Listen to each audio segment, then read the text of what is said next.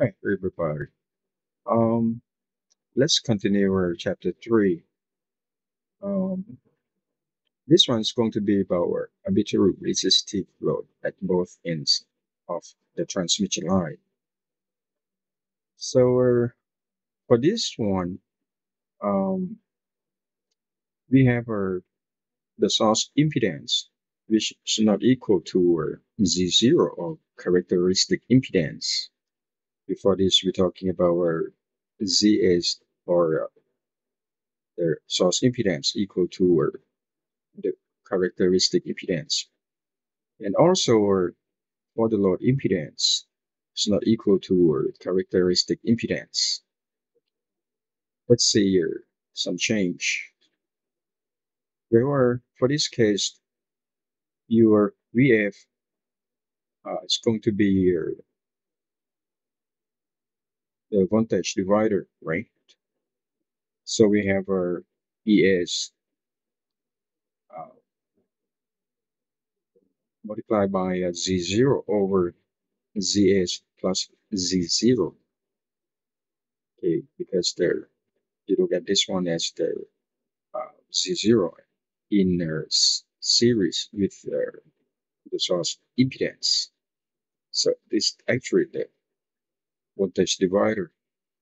And uh, for I, that's actually become VF divided by Z0. So you end up with uh, ES over ZS plus Z0 according to equation 3.50 in my book.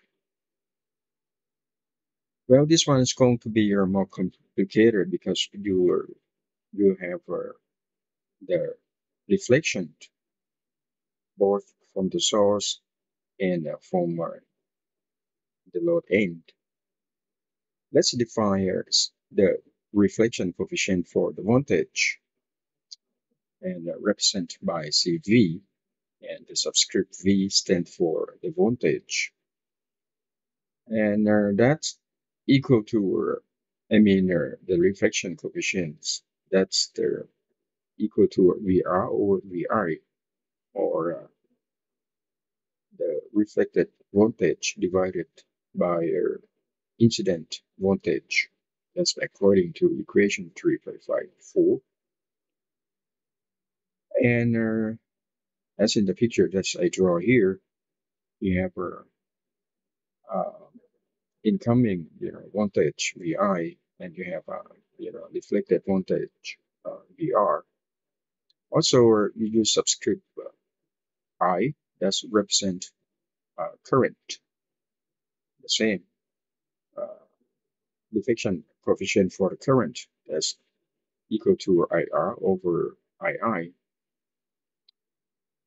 for the reflection coefficient at the load end that's going to be your ZL minus Z0 over ZL plus Z0 um, the load impedance minus the characteristic impedance. And uh, at the source, that's going to be your ZS, that's the source impedance, minus the characteristic impedance divided by your source impedance uh, plus the characteristic impedance. And uh, CI, that's going to be have an opposite sign of uh, the reflection coefficient of the voltage. Okay, so we're going to use this a lot later on. Now uh, let's take a look at the load end. You're going to have the first reflection. That's the VR1 equal to, uh, so let's say going to consider, you know, that going to be many uh, reflections. But this one, let's take a look at the first reflection first. Uh, VR1, that's going to be equal to CVL, VI, right? Because you know CVL, uh, the reflection uh, coefficient at the load end um, equal to uh, VR1 over VI. That's the, going to be your uh, the reflected voltage or reflected pulse. And uh, also a VI uh, incoming uh, signal or incoming uh, voltage, that's VF, simply VF. So uh, the total voltage at X equal to L, you're going to have a incoming uh, voltage, which is the VF, plus reflected voltage at the load end, which is the VR1. So we have V1 equal to VR1 plus VF. You just plug in there VR1 equal to CVL VF plus VF. And you end up with uh, VF uh, multiplied by 1 plus CVL. Okay, so that's very simple. Now, uh, the second reflection is going to happen from the source when uh, you have uh, the reflected voltage at the load end coming to the source. And uh, VR2, that's represented by VR2, uh, equal to CVS. You can see that you subscript is that's the represent the source VI and VI simply VF. So you just work this out.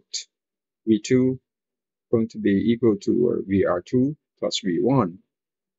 Let's take a look at this there carefully. V1 is the, we're talking about the second reflection. Okay, just ignore their the source voltage VF at this point because we consider only a reflected uh, voltage. So you have a reflected voltage coming uh, from the load N or the first reflection, you know, from the load uh, plus VR2 because this one is going to uh, reflect it back. So it's going to add up. Uh, that's VR2. And uh, we just uh, put the VR2 as the equation C. CVS, CVL, VF plus V1. And V1 you just work out. This is your V1, VF, uh, 1 plus uh, CVL.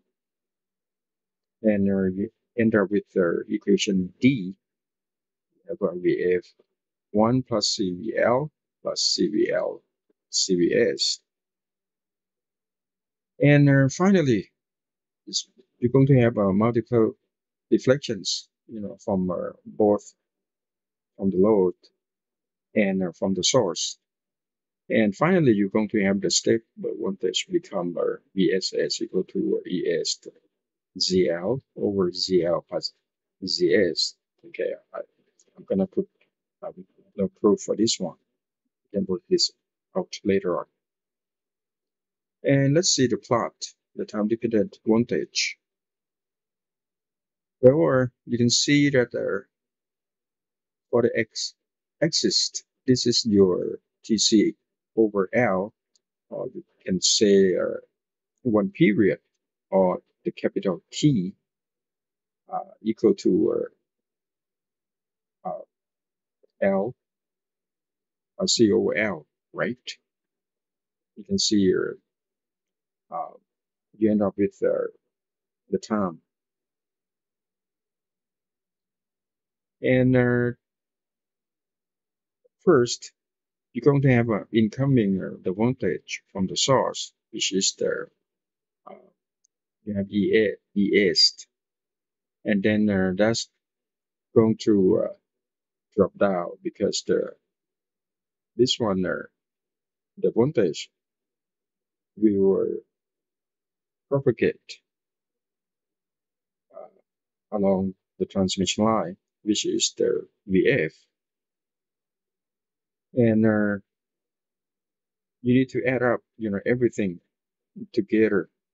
From vf you have a reflection from the load you have a reflection from the source.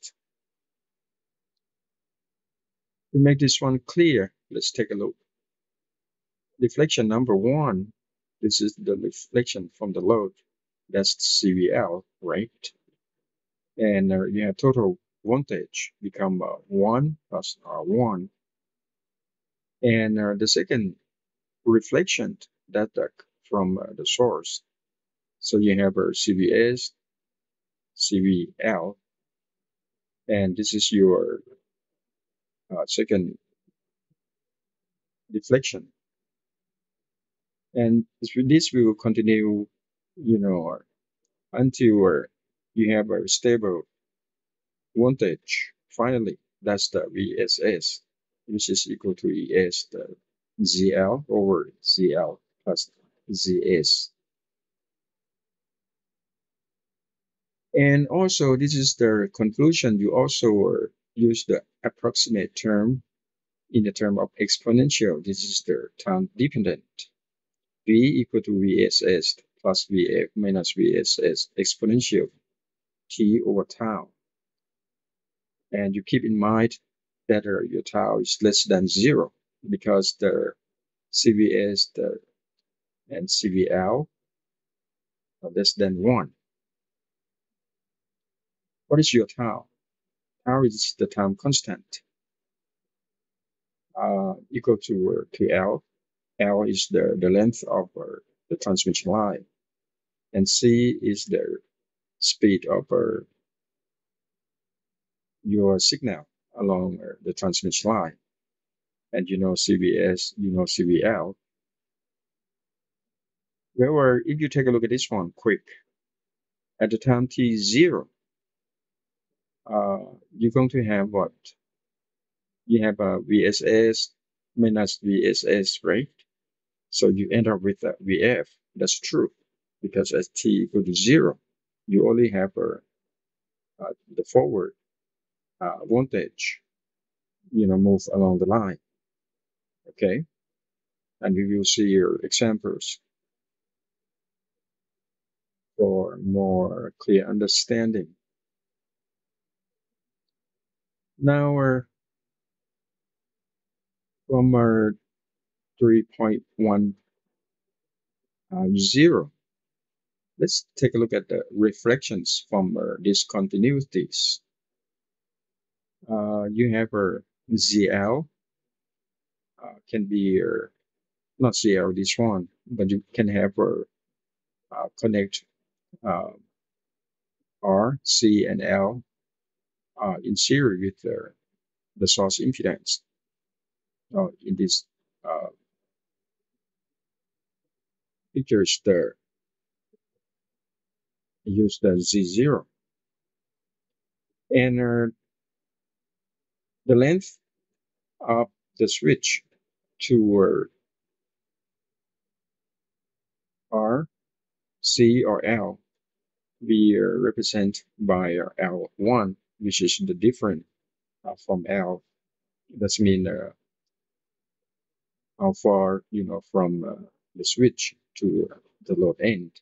But we will focus on L1. Here, same, we set up a V in equal to V forward plus V backward with a reflected voltage. And uh, V0 is the pulse uh, out from the resistor R and uh, V0 equal to uh, Z0 because the actual V0 is the VF plus VB, right? The forward voltage plus the backward voltage. So you just simply apply Ohm's law. V equal to ZI. And uh, also the voltage drop across the R simply R multiplied by the total current. Now take a look at the forward voltage.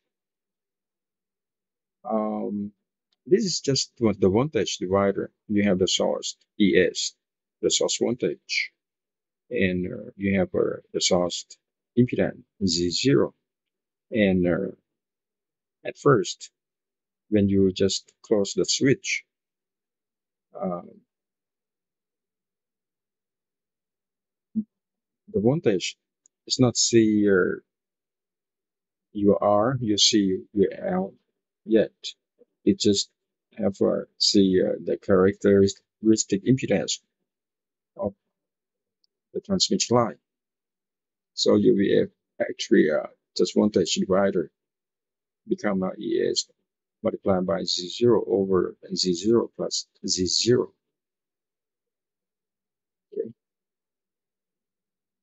In case uh, your source impedance equal to uh, the characteristic impedance of the transmission line.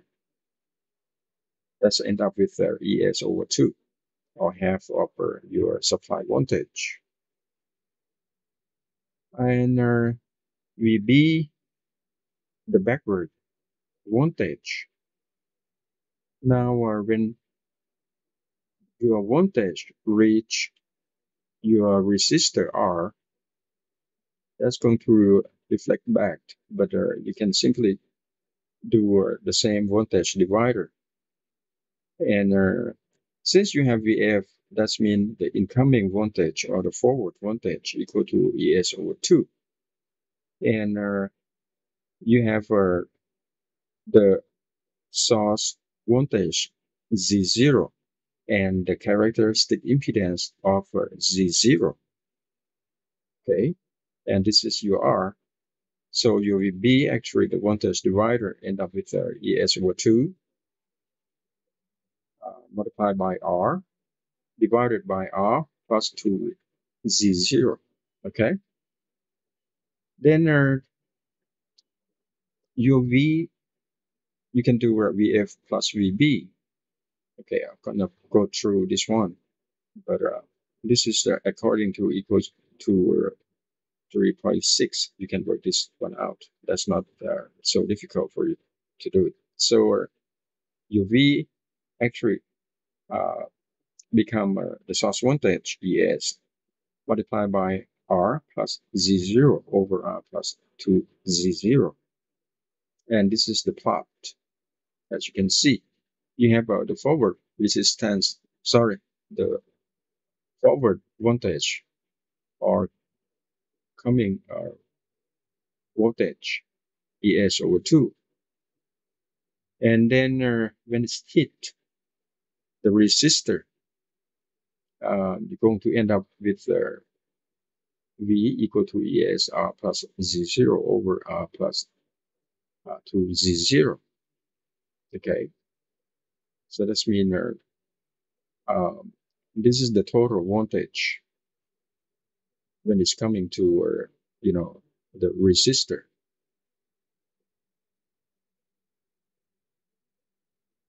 Now let's take a look at the capacitor. You do the same thing. Of course, VF equal to ES over 2. And uh, now you're dealing with uh, the current because you know uh,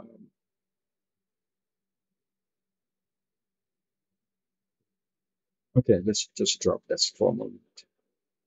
You have our you can write IB in the term of our IF exponential negative t over z0 c. You know this this is the a charging equation for capacitor right? And uh, z0c actually the time constant. And uh,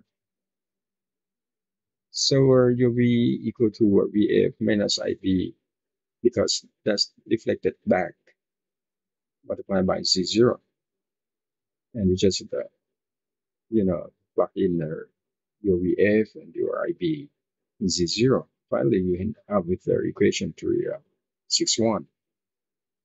This is for capacitor. And uh, this is the voltage and time for cap capacitive load. You start from an incoming voltage VF, which is equal to ES over 2.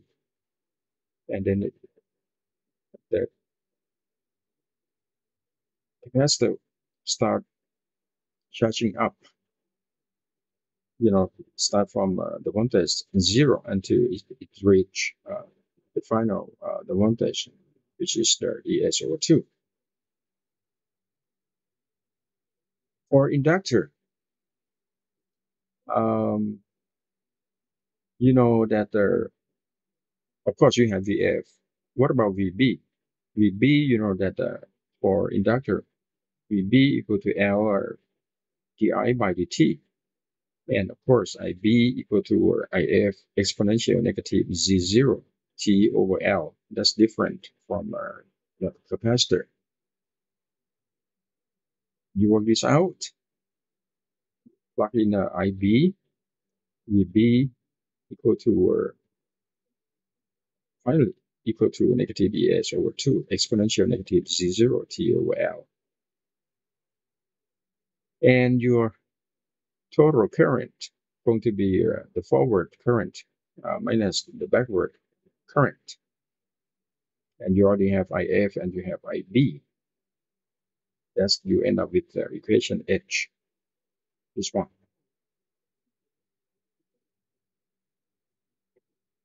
And this is the voltage and time for inductive load.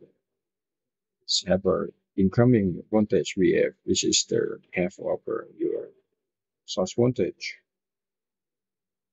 Okay, and then uh, it start uh, decreasing until it reach uh, VF, which is the ES over 2, which is different than the capacitor. Let's take a look at problem. Problem 3.21 determine the time constant tau for a transmission line with uh, ZS equal to Z0 over 3 and ZL, that's the load impedance, equal to 3, 0, uh, 3 times of our characteristic impedance.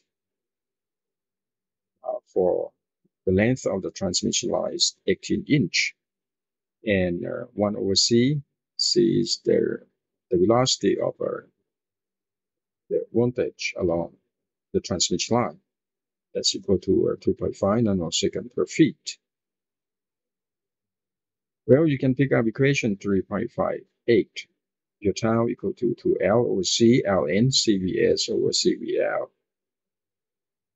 CVL equal to uh, ZS minus Z0 divided by ZS plus Z0.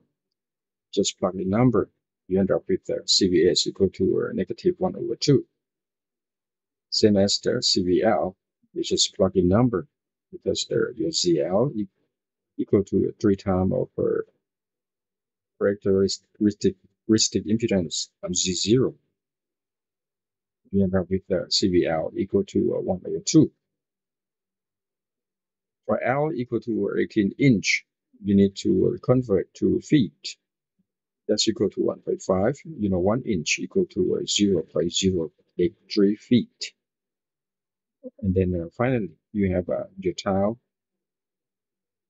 um, equal to uh, negative 10.4 uh, nanosecond. It's always become a negative number because the CVS and CVL, you know, that's going to be, that's the have opposite sign. Okay, so uh, this is your time constant. Problem 3.22 If the supply voltage is equal to 5 volt is applied to the line described in the exercise 3.21, find the voltage on the line as a function of time. Construct a voltage normalized time diagram similar to that presented in figure 3.16 for this case. Compare the voltage predicted by equation 3.57 with that shown in your diagram. Okay, since the uh, the problem mentioned uh, equation 3.57. Me uh, take a look at equation uh, 3.57 equal to VSS plus the VF minus VSS exponential t over tau. From exercise 3.21, you have a CVL equal to 1 over 2, CVS equal to negative 1 over 2. So you can look out for VF that's equal to uh, 3.75 according to equation 3.51. Okay, you just plug in because your Z is equal to or Z0 over 3. Now take a look at the first reflection at the load end. We have our VR1 equal to our CVL VF. That's equal to 1.875. So the total voltage at the load end, you have our incoming voltage VF plus the, the reflected voltage from the load end. You Just add them together, you know, you have our um, VR1 equals to, to CVL, VF, and U plus VF. And you can say, you know, this is the uh, the backward voltage. This is the forward voltage. So your V1 end up with uh, 5.6254. Second reflection. Now it's going to deflect it from the source. Um, I just pick up our equation D. We can look back at equation D. Um, your VF is equal to, is equal to, uh, sorry, VF multiplied by 1 plus CVL plus CVL CVS. That's enough with uh, 4.694. And finally, you have multiple reflections. At the end, you're going to have a, stable voltage VSS according to equation of 3.56. Just plug in number, end up with uh, 4.54. And this is your plot. Okay. Um, you start from uh, ES and uh, the voltage, you know, starting dropping down until we reach uh, the stable voltage 4.5 volt, which is the VSS as we uh, do uh, some calculations. Why I picked up this one? Um, for uh, just the multiple, multiple of a period of time for 1 and 3, that's mean uh, this is at the source end and this is at the load end. Okay, you can uh, take a look at this by yourself. So 1, 3, 5, that's the source. And for even number, that's the load end. Now, according to equation 3.57, because the as you were to uh, compare the voltage predicted by equation 3.57. Well, according to equation 3.57, um, you have VSS equal to 4.5 and VF equal to uh, 3.75. Um, you end up with the voltage at any time equal to 4.5 minus 0.75 exponential t over tau. Keep in mind that uh, your tau is negative number. Just take a look quick. At t equal to 0, you have uh, this one become 1. You have a uh, 4.5 minus 0.75. Let's give you a 3.75, which is VF, mm. right? Incoming voltage from the source. That's true.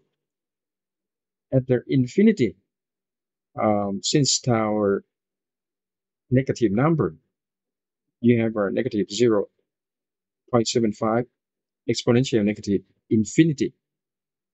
And that's give you Vs. That's the, the stable voltage. Okay uh, we will continue our chapter 3 uh, in uh, series 4. This one is series 3. Okay. Bye.